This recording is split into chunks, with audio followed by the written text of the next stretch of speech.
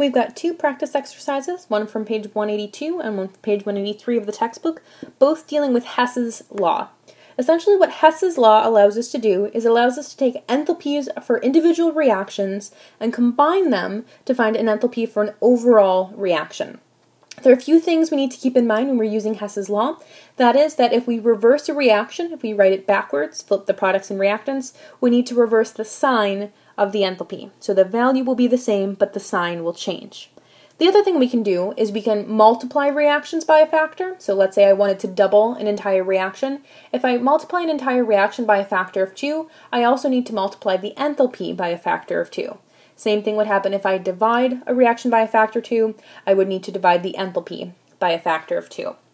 So when you're doing these problems, it's a good idea to try to figure out which things you need to keep, so which compounds have to be on the reactant side, which compounds have to be on the product side, and then which compounds will cancel out. Compounds will cancel out just like they would algebraically if they are on opposite sides of the reaction arrow.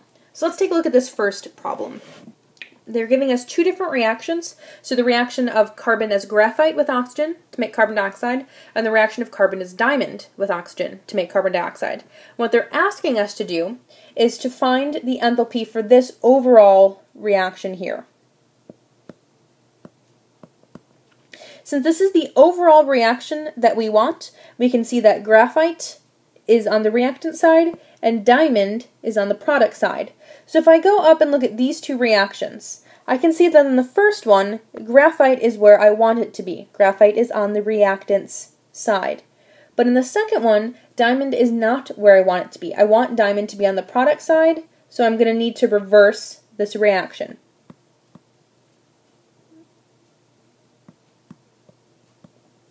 So I'm going to go ahead and write these two reactions out. I know that I'm keeping the carbon graphite reaction, so I'll just write that out normally.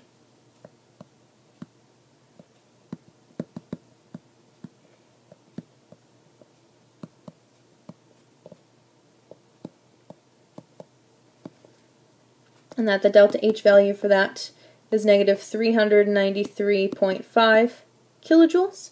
Now I know that I need to write the other one in the opposite direction. So what that means is I want it to be forming carbon dioxide and producing the diamond and the O2. Now, since I flipped the direction, that means I need to flip the sign. So this delta H is going to be positive 395.4. So if you take a look, now I've got carbon dioxide, one on the product side, one on the reactant side. Those are going to cancel. And I've got oxygen, one on the reactant side, one on the product side. Those are going to cancel. So if I add these reactions together algebraically, what I end up with is carbon as graphite going to carbon as diamond, which is exactly what I want. I can also add the enthalpies algebraically. So I've got negative 393.5 kilojoules, which I'm adding to a positive 395.4 kilojoules. Again, remembering that the reason that this is now positive is because it used to be negative, but since I flipped, since I reversed the reaction, I reverse the sign, which means the delta H for this overall reaction is going to be positive 1.9 kilojoules. Again, if you flip the reaction, you flip the sign, so same numbers, it just becomes positive or negative. And also make sure that you are having the correct compounds cancel out on each side of the reaction arrow.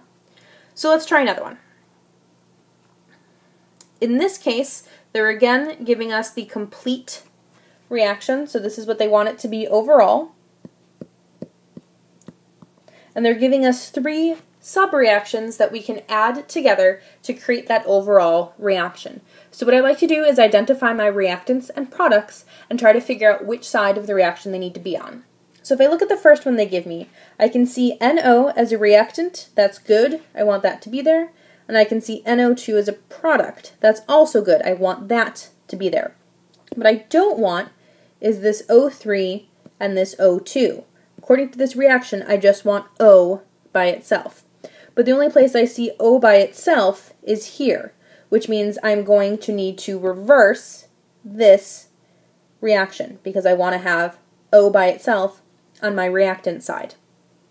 So when I think about writing this reaction, I know that the bottom one is going to be reversed, and then I need to do something with that middle reaction. And I'm probably going to want to do something with that middle reaction so that compounds I don't want anymore cancel out. So let's go ahead and start by writing the first one and see if we can figure out what we're going to need to cancel. So we know we're keeping the top one as is, NO plus ozone, O3, makes nitrogen dioxide and regular oxygen. And since we didn't change anything about that, the value for delta H is going to stay exactly the same, negative 198.9. Okay, looking at this reaction, we know that we don't want the ozone. We know that we don't want the O3. So how are we going to get rid of the O3? Well, I need to have O3 or ozone on the product side for my next reaction so that it cancels. The only way to do that is to flip this middle reaction. So if I flip this middle reaction, I'm going to have 3 halves O2 gas, making that O3. Since I flipped the reaction, that means I need to flip the sign on my enthalpy value, so this is going to become positive 142.3 kilojoules. So let's take a look at what we've got going on here. We've got the nitrogen monoxide, which is good. We've got the nitrogen dioxide, which is good. We've got this ozone canceling with this ozone, which is good. But my O2s are not canceling yet because I've got one here, but one and a half here, and I'm still not making the O that I want either. So next thing I'm going to do is I'm going to write out that bottom reaction. But I want to think very carefully. That bottom reaction shows two single oxygen atoms. I don't need two single oxygen atoms, I just need one. So I'm actually going to cut that reaction in half and flip it. So when I write that reaction, I'm just going to write it as O goes to 1 half O2. So again, what I've done is I've flipped the order of this reaction and I've cut it in half. So a way to see that is that I did one half of that entire reaction. If I flip it and I cut it in half, that means that I'm going to change the sign to be negative instead of positive, and it also needs to be half of its value. So I'm going to divide this by 2, and I'm also going to give it a negative sign. So that enthalpy is now going to be negative 247.5. Last thing we need to do is just make sure that everything is canceling out correctly so we can add together our enthalpy values.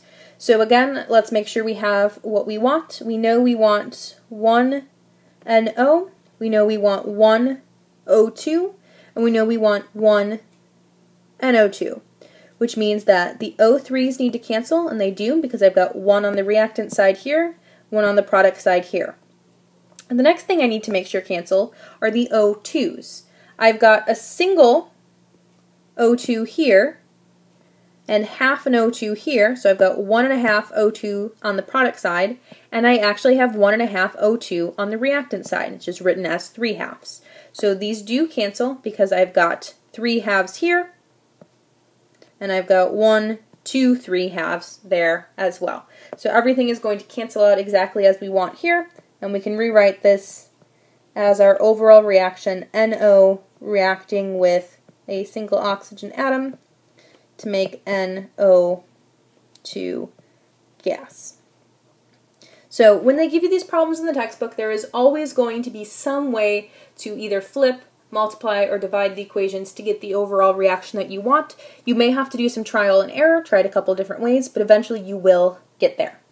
Now, since I've been changing my values for enthalpy as I go, in this case we left it alone, this case, we changed the sign because we flipped the reaction. In this case, we changed the sign and we divided it by 2 because we flipped the reaction and we divided the reaction by 2. Now I can just add those three values together and get an overall enthalpy value for the reaction of negative 304.1 kilojoules. So that's my final answer down here. Again, with these Hess's law problems, you really just want to make sure that you're writing out all your steps, making sure your intermediates cancel, and make sure that you're changing your values of enthalpy as you modify the reactions.